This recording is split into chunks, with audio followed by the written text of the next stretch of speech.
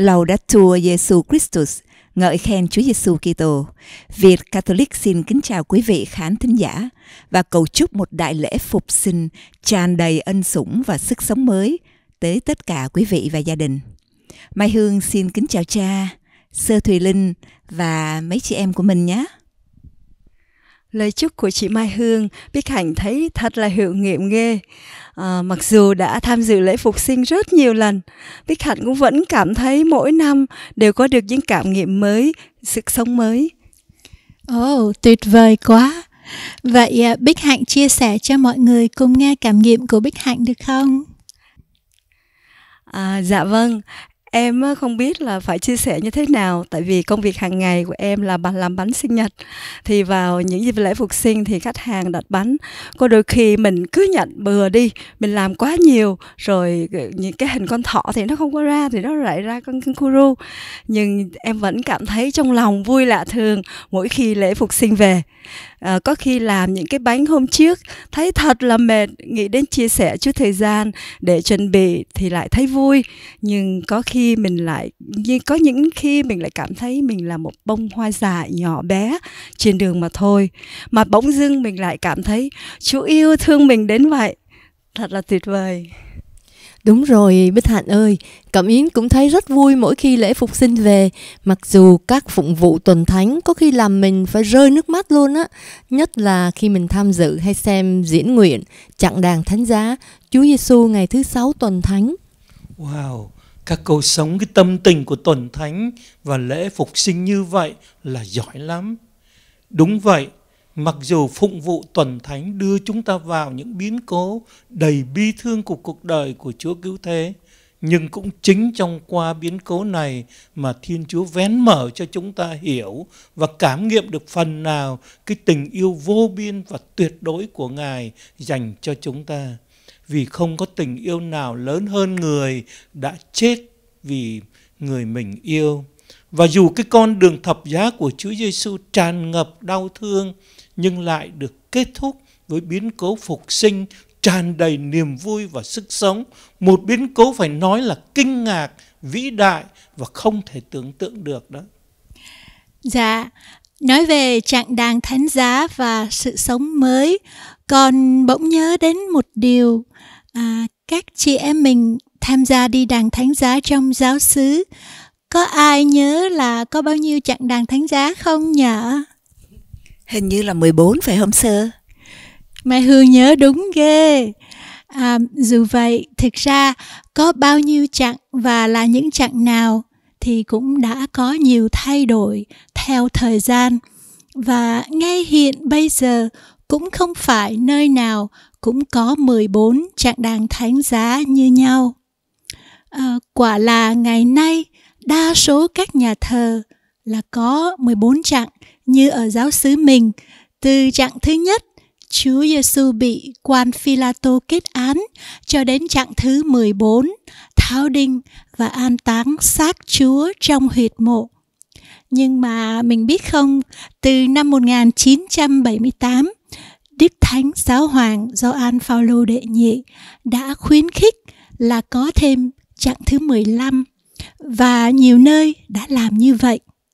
Um, có chị em nào muốn đoán thử xem chặng thứ 15 để làm gì không? À, Sơ Linh ơi, Sơ nói làm Cẩm Yến nhớ lại cái hồi mình đi hành hương ở Lộ Đức. Cẩm Yến có thấy chặng thứ 15 lúc đi xuống đồi. Các chặng khác thì có những tượng người cao to như thật, rất là đẹp. Nhưng mà chặng cuối cùng hình như là chỉ có một tảng đá to thôi ạ. À. Yeah, oh. Cẩm Yến nói nhớ quá. Dạ, yeah, Cẩm Yến nhớ đúng ghê. Um, Cẩm Yến biết không, tảng đá đó là tượng trưng cho cửa mồ của Chúa Giêsu đó. À, thì ra là vậy. Vậy chắc là chặng thứ 15 là để nhớ về uh, phục sinh của Chúa phải không cơ ạ? Đúng rồi, Bích Hạnh giỏi quá. Tảng đá tròn đúng là để gợi nhớ lại hình ảnh của ngôi mộ trống và biến cố phục sinh của Chúa Giêsu. Vì cuộc khổ nạn của Ngài không thể tách rời ra khỏi biến cố phục sinh, nên việc thêm chặng thứ 15 để suy gẫm về biến cố này rất là có ý nghĩa.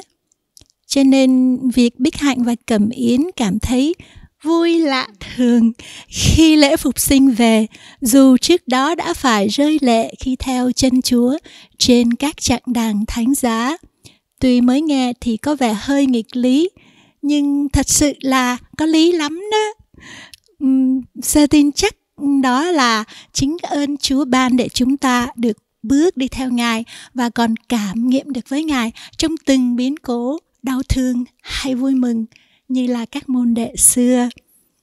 Niềm vui lạ thường mà không có lạ thường. Hy vọng là nó make sense. Yeah. À, lạ thường mà không lạ thường. Sao hay quá vậy Celine? Mai Hương hoàn toàn đồng ý với Celine và trong lòng Mai Hương ngay bây giờ cũng đang cảm thấy rất là tràn đầy niềm vui và tâm tình tri ân cảm mến. Hay lắm.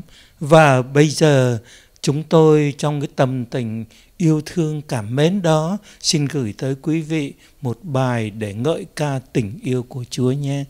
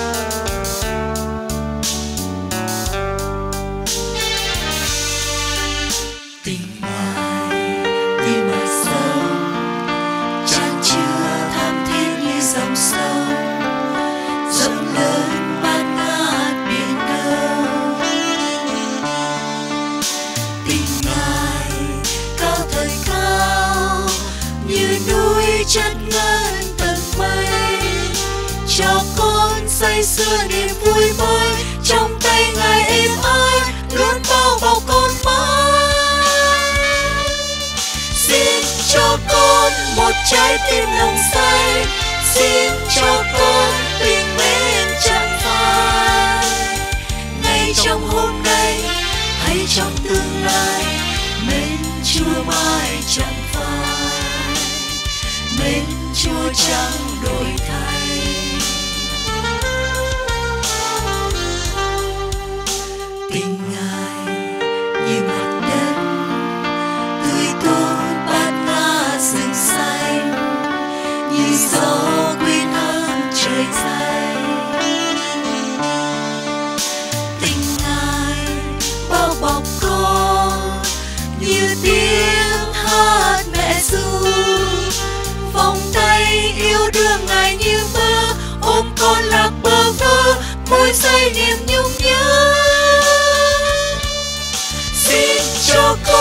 Một trái tim nồng say, xin cho con tình bên chẳng phai. Ngay trong hôm nay, hay trong tương lai, mến chúa mãi chẳng phai. Mến chúa chẳng đổi thay?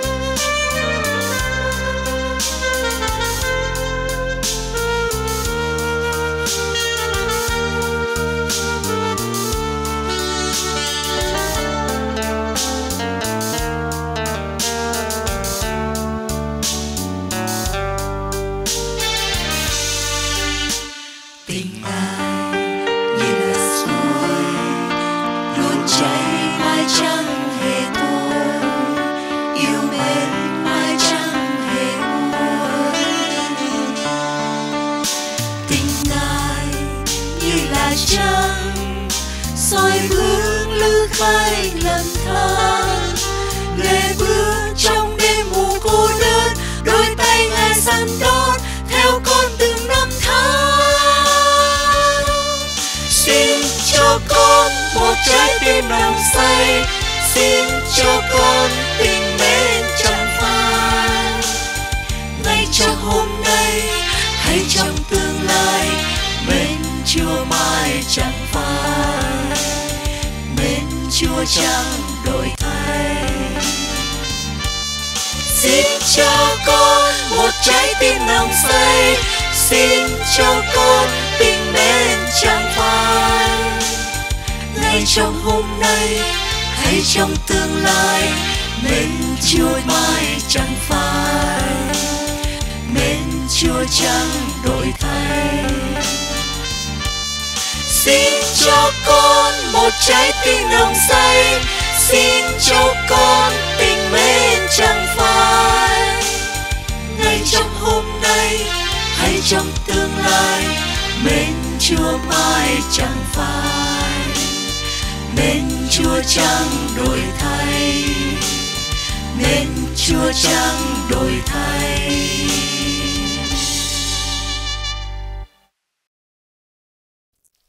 Ôi, bài hát này hay quá. Tình Ngài đúng là cao thật cao như núi chất ngất tầng mây. Bây giờ chắc người ta hay nói là lời ca có cánh. Nhưng mà không hiểu tại sao thì Cẩm Yến lại thấy như là có lửa trong lòng. Ồ, chắc là vì Cẩm Yến đang say tình Chúa rồi. Nhưng Cẩm Yến nói đến lửa là Mai Hương nhớ đến nghi thức làm phép lửa của đêm phục sinh mà Mai Hương rất thích tham dự. Chắc chắn là nghi thức này có rất nhiều ý nghĩa, nên xin cha có thể giải thích thêm về nghi thức này cho chúng con hiểu rõ được không ạ? Wow, Mai Hương hỏi đúng vào cái trọng tâm của phụng vụ đêm phục sinh đó. Thật vậy, cái nến phục sinh là biểu tượng chính của phụng vụ đêm vọng phục sinh. Phụng vụ được bắt đầu với việc làm phép lửa, rồi thắp nến phục sinh, tượng trưng cho Chúa Giêsu Kitô là ánh sáng của thế gian. Ngài đã chết nhưng đã trỗi dậy, mang lại cho chúng ta những người đang đi trong thung lũng của tối tăm và bóng tối của sự chết. Ánh sáng và sự sống mới, bất diệt. Chúng ta cảm nghiệm được cái điều này một cách rất đặc biệt khi nhà thờ chìm trong bóng tối, bỗng dương được ánh sáng của ánh sáng cây nến phục sinh chiếu soi cho tất cả mọi người đó. Dạ và con cũng rất là thích lúc mọi người đốt nến cho nhau ở ngoài trời đó cha. Dưới ánh nến lung linh, con nhìn thấy mọi sự huyền ảo và linh thiêng và mọi người cũng trông đẹp hơn nữa đó cha. có phải tại vì không thấy các vết châm chân chim không à ha? Cầm yến ha. Nói đùa thôi nhưng mà cầm yến chấm nghi thức đốt nến cho nhau cũng là chấm đúng một nghi thức tuy đơn sơ mà rất nhiều ý nghĩa đó. Vì cái nến chúng ta cầm trên tay cũng tượng trưng cho ánh sáng mà chúng ta được đón nhận trong ngày rửa tội. À, khi chúng ta truyền ánh sáng đó cho mọi người tức là chúng ta đã thắp sáng niềm tin cho nhau như vậy chúng ta không sống đức tin chỉ cho riêng mình mà còn cho người khác nữa Dạ và khi mà cha dơ cao cây nến phục sinh để rước vào trong nhà thờ và với mọi người đi theo cùng hát tạ ơn Chúa. Mỗi khi cha sướng ánh sáng Chúa Kitô, con cảm thấy mình như là dân Do Thái ngày xưa đang đi theo ông Môi Sen và được ánh sáng của Chúa chiếu soi trên đường. Đúng rồi đó Bích Hạnh. Và khi cha lên đến danh cung thánh thì đèn cả nhà thờ vụt bật sáng thật là ấn tượng. Làm con cảm thấy như có một niềm vui vỡ òa. Như mình đã về đến miền đất hứa. Wow, các cô sống những cái tâm tình tuyệt vời quá. Đúng vậy, lửa phục sinh cũng chính là để gợi nhớ lại cái hình ảnh của cột lửa Thiên Chúa đã ban để dẫn đường cho dân Do Thái vượt qua biển đỏ năm xưa đó khi được Ngài cứu thoát khỏi vòng nô lệ tội lỗi, dẫn đưa về miền đất hứa tự do. Bởi vậy khi cùng với vị chủ tế rước nến phục sinh vào thánh đường, chúng ta được mời gọi thực hiện hành trình vượt qua tương tự như dân Do Thái xưa nhưng dưới ánh sáng phục sinh của Đức Kitô để thoát khỏi cái vòng nô lệ của tội lỗi và tiến về miền đất hứa là nước thiên đàng ngay trong chính cái cuộc sống của chúng ta. Hay quá. Bây giờ nhớ đến ngôi mộ trống uh, của chặng đàn thánh giá thứ 15. Con thấy nó tuyệt đẹp và rực tràn ánh sáng. Lại một điều xem ra nghịch lý, lạ thường mà không phải là lạ thường nữa đâu biết hại. Vì huyệt mộ thì bao giờ cũng tối tăm buồn thảm, nhưng huyệt mộ của chặng thứ 15 thì là anything but tức là hoàn toàn ngược lại Dạ vâng, tuyệt vời quá vì Chúa đã dùng cái chết của mình để đem lại sự sống cho muôn người nên Ngài đã biến nỗi buồn thành niềm vui, huyệt mộ tối tăm thành ánh sáng huy hoàng. Tuyệt vời thật là tuyệt vời. Và giờ đây, hòa tâm tình mừng Chúa Phục sinh cùng với giáo hội Hoàn Vũ, chúng ta hãy cùng nhau hát một bài ngợi ca tình yêu của Chúa Giêsu, đấng đã chịu chết chỉ vì yêu thương chúng ta.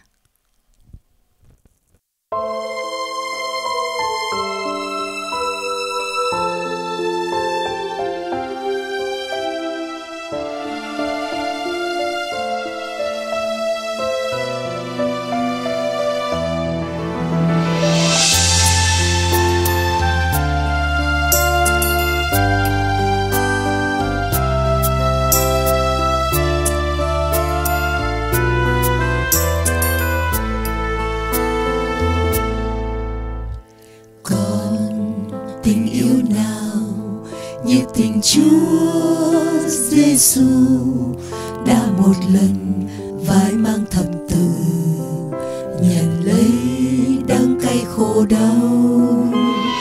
Còn tình yêu nào như tình Chúa thương con, đã một lần liều thân chịu chết Giêsu con đã biết rồi, tình ngài như biển khơi.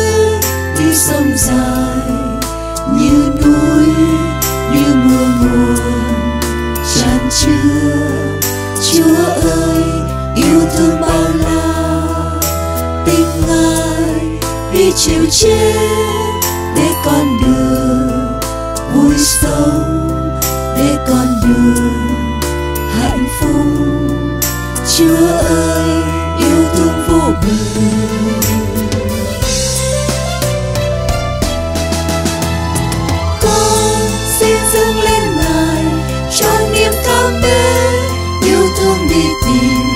Một dấu tình yêu cho vui nỗi niềm tình còn quên lãng. Vâng con xin theo ngài, thánh giá trên vai, yêu thương nhân loại nguyện ước khôn nguôi, xin vâng theo ngài, chỉ thế mà thôi. Đường tình yêu nào xưa ngài đã đi qua trong cuộc đời, lê chân miệt mài, từ sáng đến khi chiều rơi. Nhưng tình yêu nào đưa ngài đến can về? Trên vai gầy nặng mang thâm giá Giêsu con đã biết rồi, tình ngài chỉ vì con xuống gian trần, đêm xa sông đơn nghèo, cho đến chết trong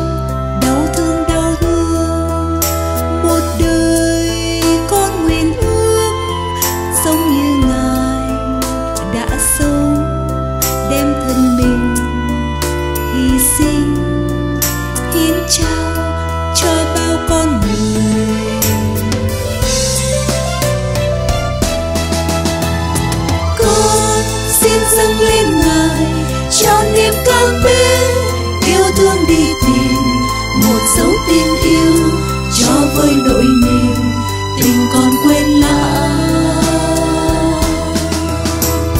Vâng con xin theo ngài thánh giá trên vai, yêu thương nhân loại nguyện ước khôn nguôi, xin vâng theo ngài, chỉ thế mà thôi.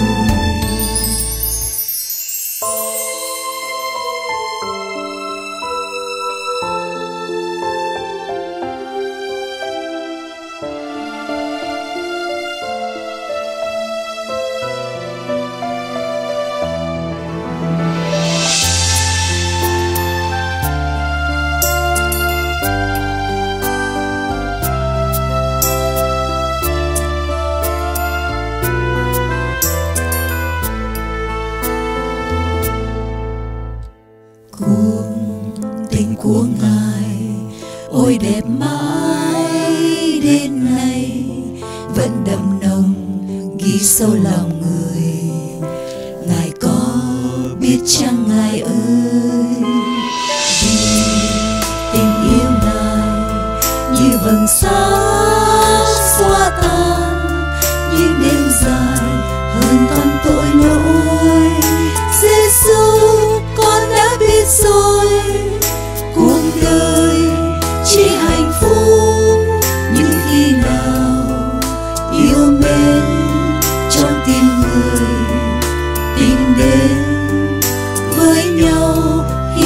cho nhau.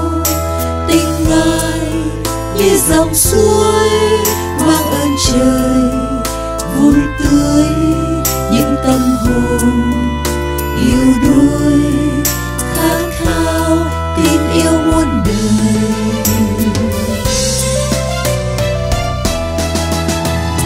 Con xin dâng lên ngài, cho niềm cảm mến dấu tin yêu cho với nỗi niềm tình con quên lãng. Vâng con xin theo ngài thánh ra trên vai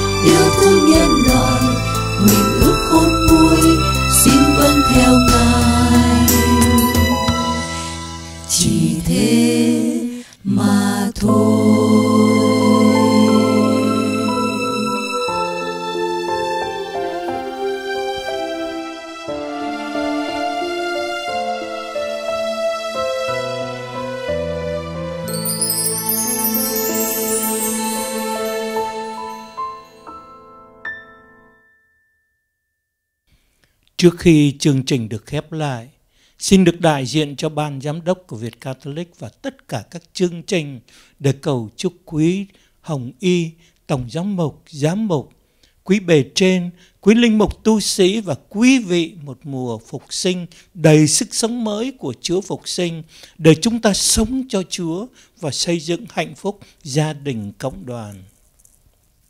Xin quý vị và anh chị em giúp phổ biến rộng rãi chương trình này đến với gia đình, thân quyến và bạn bè xa gần như một cách thức để truyền giáo và hẹn gặp lại quý vị vào lần phát hình tới.